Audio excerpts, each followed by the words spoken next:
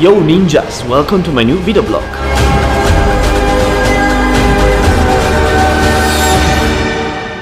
We are working on my brother's short film. Look at that. We are in a really cool location and we are gonna shoot just a little scene, a really short one.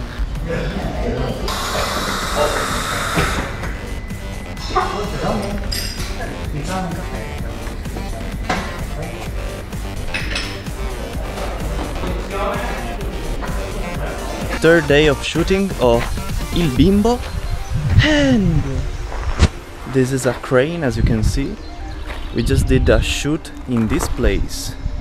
Right now they are shooting some other scenes but I don't know which one exactly. Tondo, motore partito, azione.